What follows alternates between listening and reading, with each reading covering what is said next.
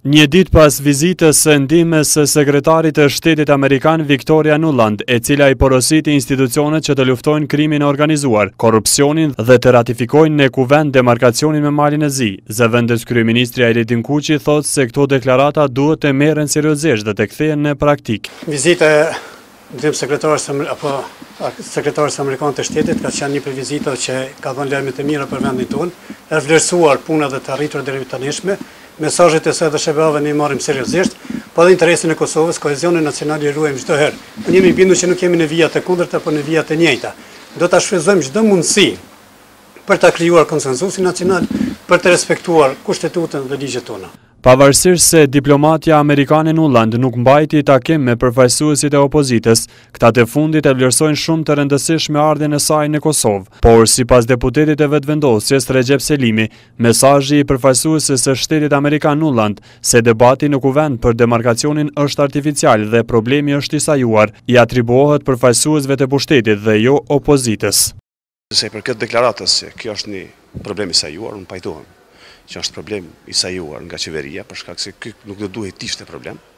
Ky nuk do duhej të paraqitej si problem as mes dy shteteve, mes shtetit të ri të Kosovës dhe atij të Malit të Zi, por nuk do duhej të ishte problem as në Parlamentin e Kosovës, do duhej të zgjidhej ashtu siç ka qenë i zgjidhur. Selimi thotë se pavarësisht presioneve që mund të vijnë për ta votuar demarkacionin, Vetëvendosje nuk do ta ndryshojë qëndrimin. Për vetë faktin që kjo marrëveshje është dashur të nënshkruhet tinëzisht dhe për vetë faktin se dikush duhet t'i bëjë presion opozitës për ta pranuar një gjë të tillë, atëherë ky problem vërtet ekziston për t'u zgjidhur ndryshe, jo me presione.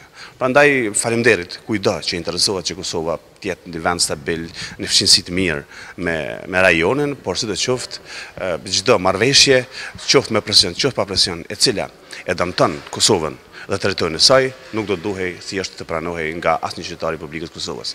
Ndërkohë, deputeti i LDK-së, Shpejtim Bulliqi, i cili është kundër ratifikimit të marrëveshjes për demarkacionin me Malin e Zi, Ka mbledhur njëzet e katër nënshkrime të nevojshme të deputetëve dhe i ka dorëzuar tashmë në Kryesinë e Kuvendit për të organizuar një tryezë gjithëpërfshirëse midis Komisionit për Demarkacion dhe ekspertëve. Janë mbledhur dikun njëzet e katër nënshkrime, të nevojshme kanë qenë gjashtë nënshkrime të deputetëve për me inicu një problem të tillë.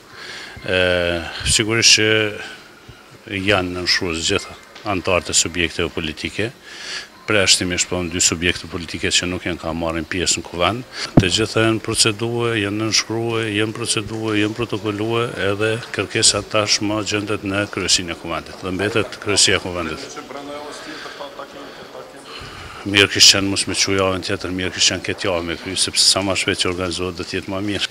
Njëri nga përkrahësit e kësaj iniciative, deputeti i LDK-së Arben Gashi, tha se duhet të shteren të gjitha debatet para se demarkacioni të ratifikohet në Kuvend. Unë kam përkrahë iniciativën e zotit Bulliqi dhe mendoj se është një ide e mirë që të shterrohen të gjitha argumentet para se ajo të vijë në Kuvend dhe kur të vijë në Kuvend aty do të jetë vendimi final dhe vendimi final pastaj është i pakthyeshëm. Marrëveshjen duhet ta sjellë n'Kuvend qeveria dhe unë nuk kam pasë qasje në marrëveshje. Ratifikimi i marrëveshjes për caktimin e vijës kufitare midis Kosovës dhe Malit të Zi, luftimi i krimit të organizuar dhe i korrupsionit, janë dy kushtet e caktuara nga Bashkimi Evropian për liberalizimin e vizave për qytetarët e Kosovës.